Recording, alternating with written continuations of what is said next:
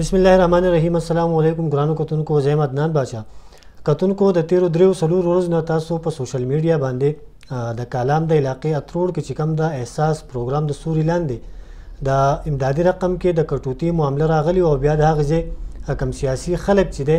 هغه معامله هغه سیاسي جوړ کړه په هغه کې سملزمان گرفتار شو یو ملزم پکې د چا په ایما باندې هغه ملزم د حوالت نه وسته شو بیا په دې کې انتظامیه موقف نه ورکوي ای سي بحرین موقف نه ورکوي اول ته چې کم صحافیان دي هغه ته هم ستونزې جوړې شوې دي هم په دغه مسله په دغه معامله به خبرې کوو زم سره نن په دې پروګرام کې د کالام پریس کلب چیئرمین رحمت الدین صدیقی صاحب موجود دی صدیقی صاحب د ټول نول خو ډیره مننه تاسو موږ له ټایم راکو اول رد دا و چې په دې اتروړ کې چې کومه جرګه شي وه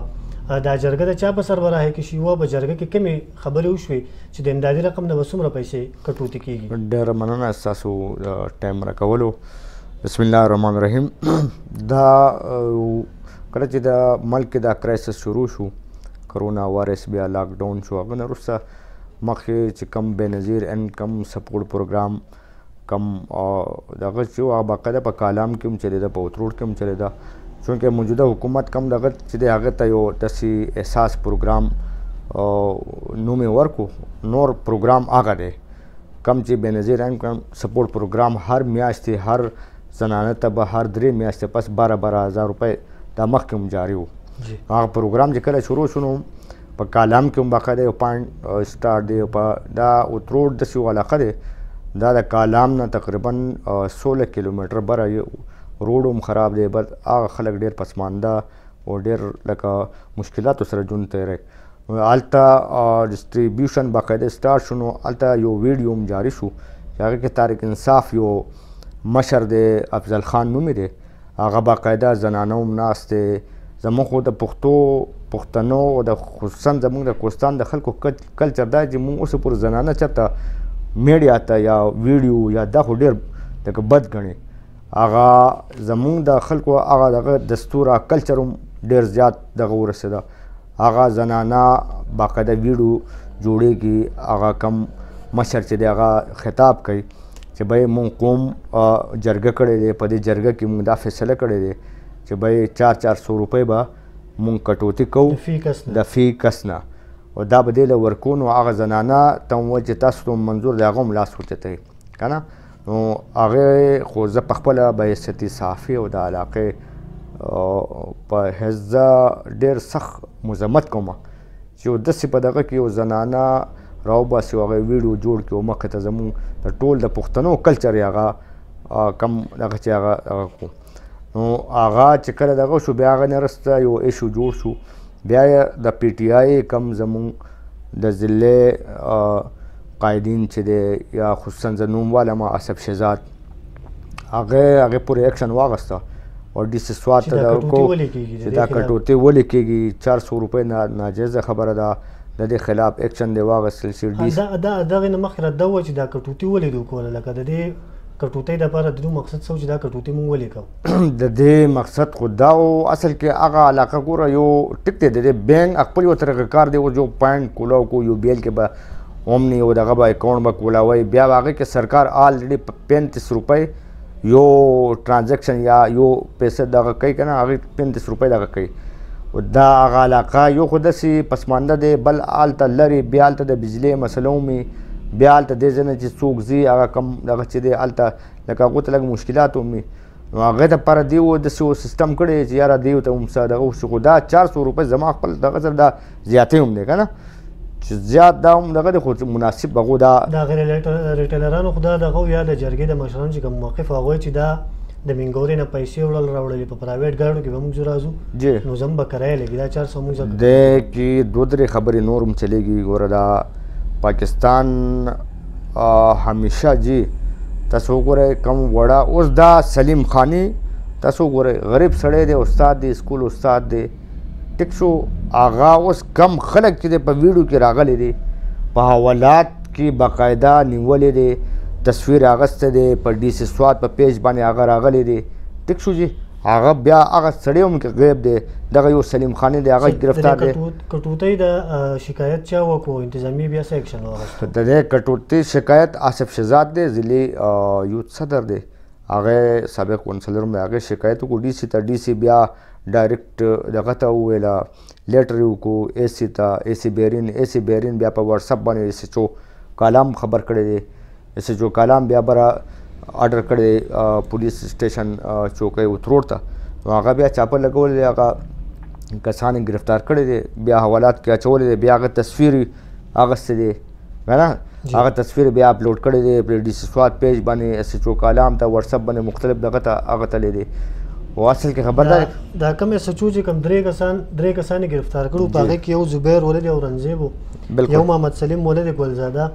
یو احسان رحیم ولید رحیم داد دا درې کسان ارسټري او دا په حوالات کې بند و جی. خو بیا دا یو کس چې کوم دی احسان رحیم ولد رحیم دا دی د حوالات نه وویستی شو جی. نو دا لا دا راته لږ واضح کړئ چې دی د چا په ایما باندې وویستی شو کله چې ډیپټي کمشنر سوات د خپل پیج نه تصویر اپلوډ کو جی. نو په هغې کې دا درې واړه کسان په حوالاتو کې جی. بیا وروسته هغه تصویر ما غو ډیلیټ کو بله خبره دلته دا هم د چیرمن صاحب چې اسسټنټ کمشنر کوم لیټر ایس ایچ او ته جاری کړو په هغې باندې نه ډایري نمبر و نه پی تاریخ وو نو کوم وکیلا وکیل برادری چې نو چې لګه دا غیر قانوني دی د چې نوټیفیکیشن جاری کړي ډایری نمبر به وي تاریخ به وي نو په دې حواله دا بالکل دا هغه باندې ما په خپل کتل ډایری نمبر مې څو پرس سرکار دا کاری مون په خپل دغه کو یو لیټر دغه بیا به یو ډپارټمنټ چې بل ته لیکي مثال کې تور په اي سي ته ډي سي ته موږ درخواست ورکو هغه چې هغه اي سي ته لیږي هغه باقاعده ډایري نمبر به ورکړي بیا تورو پراپر چینل دی او دا خو داسې دی دا به یو روز کې ارجنټ شوی دی او زما چې څومره خیال راځي دا بس ډي سي ډایرک لاس په لاس دا راکړی او قانون هم دا وایي چې دا بالکل الیګل دی دا یو کس چې کوم بیا د حوالاتو نه وویستی شو نو ستاسو په خیال دا د سیاسي خلکو په ایما باندې وویستی شو بالکل دی کې ګوره دا 400 روپۍ ګوره دا 400 روپۍ چې هغه څه دي کې شاته نور هم لاس دی دا یوازې دا دا دا سلیم خاني نه دی هغه استاد بل غریب سړی او غریب کورنۍ نه بل هغه گرفتار شو کم مافیا چې هغه کم پارټي سره یا تاریخ انصاف سره ګوره دا افضل خان افضل خان مین کردار دی دی ټیک شو چې د دې مین کردار ویډیو کې باقاعده هغه اقاره ثبوت دی چې هغه وای چې بای مونږ آلو 400 روپۍ آلو کوم ویلې دی ټیک شو او دا به مونږ دغه کوه د سره سره مونږ دا دغه چې دا یوازې افضل هم نه دی شاته نور هم خلک دی مشران دی هغه باقاعده دا 400 دا 24 لک روپۍ جوړېږي دا خو سلیم خان دا وس کار نه دی نو د کې باقاعده ډېر دا ډېر غټ پلانینګ دی او دا زموږ مخکې هم شوی دی په کالام په دې کوستان ایریا کې ګوره همیشه د قوم سره مختلف مټ کې که جنګلات و رایلټي که نور د سي غټي غټي معاملې زمونږ د کې یو مافیا یا که مافیا ډېر هم غریب سړی خبر نه دی غریب سړی څه کولی نه شي ټیک شو هغه مافیا ډېر غټ دغه کړو د دې شاته هم ډېر غټ مافیا دی لاس دی او دا لاس ګوره دا نانصافي دی ډیس سوات هم وایو یا اس ایچ او کالام چې دی ایس ایچ او کالام خو ایف آی آر مونږ ته نه خای د روزنامه چې رپورټ مونږ نه راکړي اسسټنټ کمشنر بحرین زمونږ نمبر نه ریسیو کوي بالکل د صحافیانو نمبر نه ریسیو کوي نو تاسو ته دې نه ښکاري چې په دې کې شاته ډیر خلک ملوث دي ډیر خلک بالکل دا خو ګوره حکومت دی د صوبایي حکومت مرکزي حکومت د تحریک انصاف دی تحریک انصاف افضل خان چې دی هغه د تحریک انصاف د پارټۍ نه دی بیا دې کې د نور پارټو والا هم غټ کم دغه چې دی زه به نومونه نه علمه ټیک شو هغه ټول ته پته دی غټ غټ کم دغه چې هغو یوازې افضل هم نه دی دې ته لاس نو هغه مخ ته ویناګانې شوې دی به ډي سي سوات خو د چا ماتحت دی بیا اسسټنټ کمشنر بیا هم هغه هم د ماتحت دی یو د صوبې د وزیر اعلی سټل ګورنمنټ هغه ماتحت دی چې د هغه خلاف خبرې ځینو دی به سبب آوټ ترانسفر به کېږي یا دې ته به مسله جوړېږي نو دا ایلیګل دا بالکل ایلیګل غیر قانوني کار شوی دی غیر قانوني دغه دی بل صحافیانو تاسو کوم خبره وکړو چې زه ستاسو په وساطت سره ګوره میډیا دا د پاکستان د څلورم ستن دی او زه دا درخواست کوم ګوره ای سی بهرین ته که څومره هم دی تکړه صحافیانو سره دې ټکر نه علي مونږ ته دې بر وخت کم صحافي چې دې هغه ته به انفارمیشن به ورکوي ټیک شو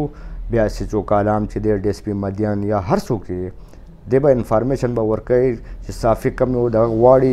رائټ ټو انفارمیشن دا خو صوبې حکومت په خپل دغه کړی جی ټیک شو جی نو بل دویم زدا خبر کومه چې صافیانو کم او دا بلیک میلران چې دی د دې مافیاوي ګروپ چې دی اوس زمونږ اچ ایم کالامي مرګري دی د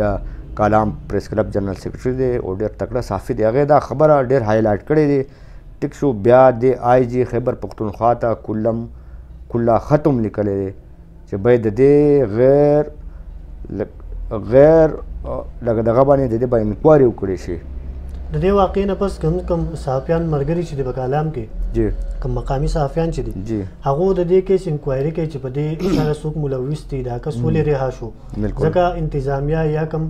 پولیس ډپارټمنټ چې په کالم کې هغه صحافیانو سره تعاون نه کوي نو هغه په خپل ترو باندې هغه صحافیانو انکوایري شروع کړي نو اصل دغه خلک چې د په هغه پورې خبرې کوي هغه تنګي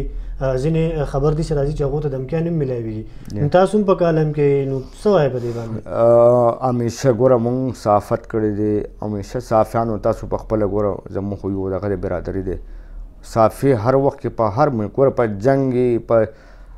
کرفیو ای اپریشن ای په دهشتګردي کې یا هر یو کرایسس کې ګوره صافی خو هر حالت کې هغه به وځي اوس دا کرونا وایرس چې دی په دې دغه کې ټول ناول په صف اول باندې دا خلک وایي چې ډاکټران کردار ادا کوي نور صف اول باندې صافی برادري دی چې هغه په هسپتال ته هم ځي هغه مختلف دا کیسز مختلف انفارمیشن دنیا ته هغه هایلایټ کوي او بغیر وسایل نه هغه وځي حالانکه هغوی ته تحفظ هم نشته هغوی ته داسې څه حکومتي طرفه هغه تحفظات دپاره نور څه څه آلات هم هغوی ته نه دی ورکړی نو دا خو د حکومتي سطح باندې خو مقامي سطح باندې چې دا خلک دی دا اوس دا اواز چې دی دا صافیان دبوي چې یاره موږ دا لږ دبا وکړو دمکې به ورکړو دی به خپل دی موقف نه شاته شي نو دا یریږي چې موږ بې نقاب نه شو و دا به بې نقاب کېږي ځکه چې هغې آج خیبر پښتونخوا ته خط لیکلی دی کلام کلا بیا هغه نه وروسته اوس زموږ پروګرام دا چې موږ چیف جسټس ته به دی کې درخواست به لیکو چې دی کې اعلی سطح باندې جوړی سره انکوایري دی وشي ځکه دی کې اسسټنټ کمشنر بیرین ایس ایچ او کالام ډي اس پی مدیان یا پولیس دا ولی لکه دی ولی غلی دی بل دی کې حوالات کې کم درې کسان چې وو باقاعده نیولې دي تا یو سړی چې بې ګناه تا هغه ولا ته ولې دننه کړی ولې ارست کوې ولې بیا مثال له تا بیا هغه عباس بیجا کې ساتلې دی هغه سړی دی وځي هغه خلاف به عباس بیجا پرچه به کېږي هغه به مقدمه درج کېږي د کالم جرګه بیا هم راغلی و د ډیپټي کمشنر سره او ډیپټي کمشنر خپل موقف دا ورکړو چې څومره پیسې د خلکو نه اغستې دي هغه به هم واپس کوو نو ستاسو په خیال دا د مسلې حل خو نه دی چې پیسې واپس شي خو اصل مظلومان سره سیګل پکار دی اسسټنټ کمشنر بهرین سره دا جرګه ملاو شوې دی هغه د کم سلیم خان کم خلنه هغه ته وایي تاسو دا پیسې څومره اغستې دا مال راوړئ زه مونږ به دا ریکور کو بیا تاسو ډي سي ته لاړ شئ ډي سي تاسو ته تاسو به لکه دا الګ به پریدي کنه او دومره خو هغه ګوره دا غلط لار خي غلط لار په دې خي چې و جو سړی باندې اف آی آر شو پرچه وشو لاړه تانه ته هغه بیا ډی سي نه وته هغه انتظامیه نه لاړه اوس هغه خبر چا جج سره دی جج ته به درخواست کوي هغه خبر جج ډي سره بیا اختیار نشته کمشنر سره نشته وزیر اعظم سره نشته آرمي چیف سره هغه هغه جج سره دغه دی هغه پر هغه خلک بیا ډي سي سره هغه زموږ مشران ملو شوي دي ډي سي ورته ویلي چې دا زما د دا عدالت کار دی عدالت به دې دغه انکوایري به کوي چې دا صفای بالکل هغه کوي نو دې هلک دا پیسې هم ورله ورکړې دي واپس کړې یو قسم یو ثبوت په دې باندې ثبوت شو هغه مو ثبوت د کالم نه دا خبر هم راغله چې کوم ریټیلران دی هغوی چې مونږ نور دا امدادي رقم د خلکو نه شو ورکول هغه خپل کم سنټر چې هغه بند کړی دي نو دا راته وایي چې د کالم خلکو ته وسومره مشکلات چې دا سنټر بند شي او حکومت له سبا کار دی په دې اړه ډیر زیات اوس په کار دی چې ډي سي سواد اکشن واغسته به درخواست ورکو پی ټی آی حکومت ته درخواست ورکو به اونې ولا خو آلته هغه خلکو څه ګناه دی کم از کم چا چار پنځ هزار خلک په دې ټیم کې آلته آلریډي رجسټر دی هغه خلک هغه زنانا یو کرونا وایرس لاک ډاون هغه خلک بند دي الته ټیک شو بل الته هغه ته سیستم بند شو اوس هغه به هغه څه ګناه دي اوس په کار دی چې فوري تور باندې زما اپیل دی کمشنر ملاکن ډیویژن ته وزیر اعلی خبر پښتونخوا ته چې فوري تور باندې الته ډیسټریبیوشن دغه پوینټ کوله کې ټیک دی د دې کوی مقدمه رااله د دې به انکوایري بکیږي د دې به یو دغه کیږي دا ډیر یو لانګ پروسس دی وا خلکو د پاره په کالام کې په وتروړ کې په ګبرال کې پاندې کولر کړی شي چې هغه غریب خلک هغه ته هغه حق ملو شي دا کوم معامله چې د امدادي رقم د کټوتې د د سیاسي اخکار شو یا سیاسي معامله د جوړه شو د دین علاوه نورې مسلې هم د شکیږي نو په دغه اړه باندې ته تر اوسه پورې انتظامی خپل څه اکشن اغسته د انکوایري سیستم جوړ کړی دلته کنه زه خو دا وایم جی په بینظیر انکم سپورټ پروګرام کې چې کله ډاخانه باندې راتله پوسټ افیس هغه ټیم کې بینک سیستم نه و هغه کې خلکو عربونو روپو کروڑونو روپې کرپشن وکړو زه دا وایم چې هغه هغه انکوایري هم دی وباسي کنه خلکو اکثر به دا پیسې به راتله ډاخانه ته منګوري ته پانچ ارب دس ارب روپۍ په سواد په سطح باندې هغه بیا مختلف لوکل ډاکانه تله خلکو ته به هغه هم ځان خبر نه و ټیک شو هغه پیسې چا ته لاړې هغه هم دی انکوایري وکړي شي دنه مخکم څه شوی دی هغه هم انکوایري دی وکړي شي زموږ مطالبه دا دی چې به کم دا دا خو استاد دی یو مامارقوم دی او غریب دی غریب خاندان نه دا د قرباني هغه اخکار شو او کوم مافیا چې دا غشاته پات شو بل زدا خبر کوم تاسو په وساتت سره چې بای اس جو کلام ته وایم دی اجي ملکن ډېر ښه سړی دی مون بل زو ور سره ملو شو دا زمو سواد کم کوستان خلک چې کته هغه کې ډېر کوآپریشن وکړو بیا ډېر سمون ډېر کوآپریشن وکړو او زمو هغه نه دا مطالبه دی چې بای صافیانو ته کم انفارمیشن ساتي سچو ده کالام ایس ایچ او دی یا اسسټنټ کمشنر مونږ کمشنر ملاکنډ ډیویژن ته ویو به د صافیانو نه څومره انفارمیشن پکار هغه به وخت باندې ورکړي شي یعنی د دې خلاف به مونږ زو بیا که هغه ځای ملکانانی که دمکې ورکړي ان شاء الله تعالی مونږ دمکې نه ځای نه یریږو او دا شی مونږ صافیان مرګري مونږ دا بې نقاب کوو ان شاء الله تعالی دا به په یو حال باندې نه پریدو او دا خبر مونږ چیف جسټس پاکستان او عمران خان پورې مونږ دا رسو چې د کې څوک ته تاریخ انصاف نه څوک ملوث دی یا بل څوک نه ملوث دی د دې به ان شاء الله تعالی دا به نقاب کیږي ډیر مننه رحمت الدین صدیقی صاحب کتونکو تاسو د کلام پرس کلب د صدر رحمت الدین صدیقی صاحب خبري واوریدي معامله راغلی و په کلام په علاقه په اتروړ کې د امدادي رقم نه د کټوتۍ معامله جرګه پکې شي و جرګې دا فیصله کړې و چې 300 روپۍ به کټوتی کیږي بیا سیاسي معامله دې جوړه شوه، انتظامیې پکې اکشن واخستو، درې ملزمان ونیوی شو، په هغې کې یو ملزم چې دی هغه بیا ریها کړی شو، د هغه نه اف آی آر راغی، د هغه نه څه نوټیفیکیشن قانوني راغی، اوس پکې هلته کې چې کوم ریټیلران دي، سینټر یې هغو بندوي، د هغه ځای کوم مقامي صحافیان چې دي، څوک چې انکوایري کوي، څوک چې مزید تفتیش کوي، هغو ته دمکیانې ملاویږي، هغو کار کول ته نه پریږدي، هم به. نو زموږ به هم دا کوشش وي تر څو پورې چې د دې معاملې حقایق مونږ ستاسو مخې ته نه راوړي ته هغه پورې به دا معامله مونږ ټیم په ټیم ستاسو مخې ته راوړو د پروګرام کتو ډیره ډیره مننه